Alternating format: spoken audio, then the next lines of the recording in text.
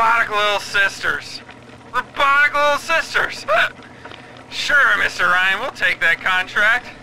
Sure, yeah, we'll front all the R&D costs, no problem. And and when the big daddies ignore the little robot girls and all your fancy field uh, field tests, ah uh, hell, what are we gonna do with all the full production run of these useless things?